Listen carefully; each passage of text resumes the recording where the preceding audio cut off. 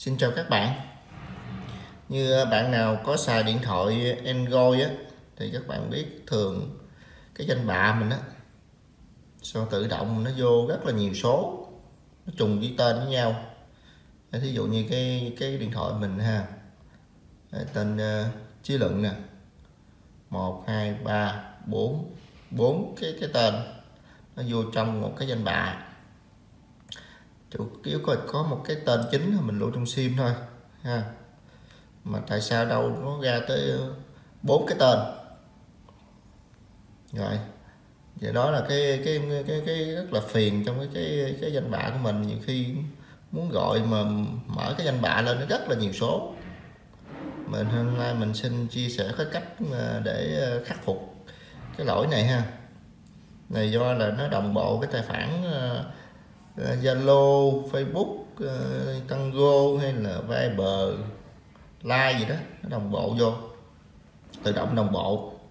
Nó có, có nhiều số thì thật sự mấy cái cái này nó nó nó, nó nè nó báo ha đây chỉ lệnh đây nó báo trên Zalo nè. Đồng bộ Zalo. Này đồng bộ Zalo nè. Này đồng bộ Tango. Rồi mình xin chia sẻ các bạn cái cách khắc phục ha. Đầu tiên mình vô ờ, phần cài đặt. Này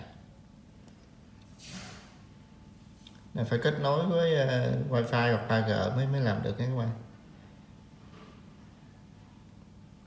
Đây là tài khoản đồng bộ.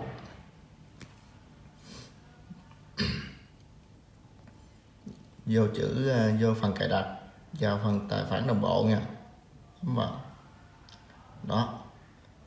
Các bạn thấy nó đồng bộ rất là nhiều à, cái cái cái cái tài khoản.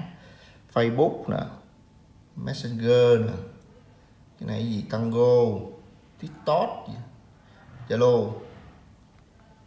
Mình lần lượt mình xóa từ cái, chỉ chừa cái cái cái cái tài khoản Google thôi. Xóa cái cái cái cái Facebook trước bấm như nó bấm như mấy cái dấu ba chấm trên đây đó nó có chữ xóa tài khoản bấm xóa.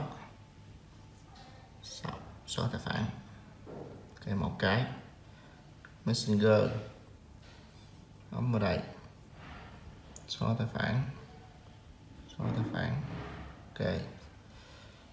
Chữ tango. Bấm phải vô đây nó mới xóa được bấm vô nó cái nữa bấm so tài khoản so tài khoản ok. Vô đây. So tài khoản đơn giản thôi. Nhiều khi mình không biết đường vô cái nó thấy nó rất là phiền, danh bạ đâu, mình rất là nhiều số. Xóa Zalo xóa luôn trừ cái tài khoản ờ, Google lại thôi. Ok trừ tài khoản Google thôi. Tắt đồng hồ. Ok trừ tài khoản Google thôi ha.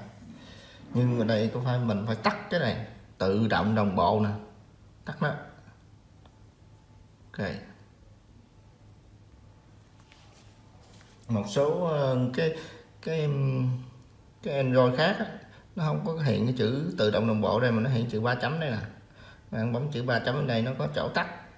Còn cái máy này thì nó có hiện trên đây luôn. Rồi ok bây giờ mình thoát ra thêm thứ nha.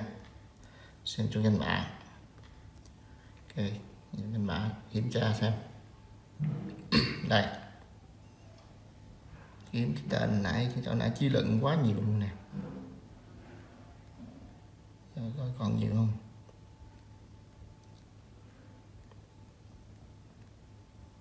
Đây à, chỉ còn lại một số lưu trên sim hoặc trên máy thôi. Đó, nó sẽ mất tất cái mấy cái số mà trùng với nhau đó. Đơn giản. Ok. Vậy là mình còn lại một tên một thôi. Đã rất là nhiều tên. Giờ mình sót ra mình xin vô lại nha. Vô cài đặt nè. Vô chỗ ờ, tài khoản đồng bộ. Này giờ chỉ còn tại một cái tài khoản gmail thôi. Lúc nãy thì nó rất là nhiều, mình đã xóa bớt, xóa hết rồi. Đó. Mình nhớ tắt cái chữ tự động đồng bộ này. Là 11 nó sẽ không có bị tự động đồng bộ cái tài khoản ừ, Zalo, Tango vô nữa, Facebook luôn. Nó không có bị ừ, trùng số nữa. Rồi, ok. Vậy là xong rồi đó các bạn. Chúc các bạn thành công nha. Chào tạm biệt.